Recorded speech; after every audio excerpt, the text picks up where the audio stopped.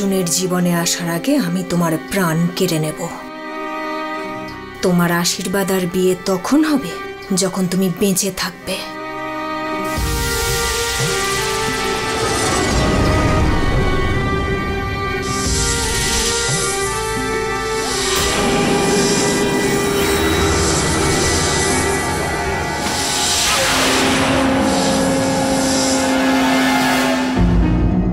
রেণুকা তুমি কি রেডি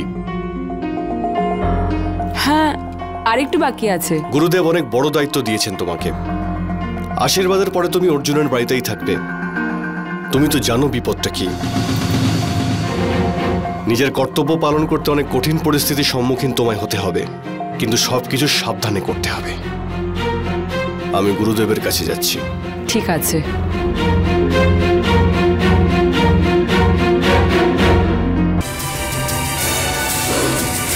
তোমার পরিচয়টা বলো। মানব রূপ ধারণ করো, ইচ্ছাধারী সাপ। আর অর্জুনের বাড়ি বাইরে তুমি কি করছিলে? বলো। ঠিক আছে। তোমার ইচ্ছা। তোমার মুখ থেকে সত্যিটা বার করার আরও অনেক পদ্ধতি আছে। মহেশ বলো। বলো না হলে এত কষ্ট পাবে যে বাধ্য হবে সত্যি কথা বলতে। জয় বম ভোলে জয়। জয় বম ভোলে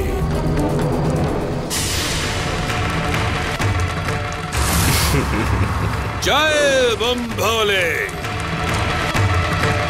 জয় বম তোকে আরও কষ্ট দিতে আমায় বাধ্য করিস না। বল বল ইচ্ছাধারী সাপ, তুই কে? মানব রূপ ধারণ কর নিষেধ। মানব রূপ ধারণ কর। জয় বম ভোলে জয় বম ভোলে জয় বম ভোলে আমার এরকম কেন মনে হচ্ছে যেন যেন গুরু সর্পেশ্বর কোনো বিপদের মধ্যে আছেন? গুরু সর্পেশ্বর গুরু সর্পেশ্বর আপনি উত্তর দিচ্ছেন না কেন? আপনি কোথায়?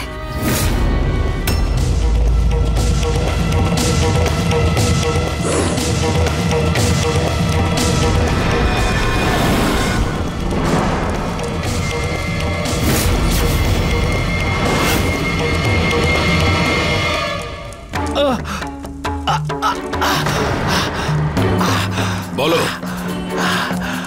বলো। কি নাম তোমার? অগ্নিহত্রী পরিবারের সঙ্গে কি সম্পর্ক তোমার?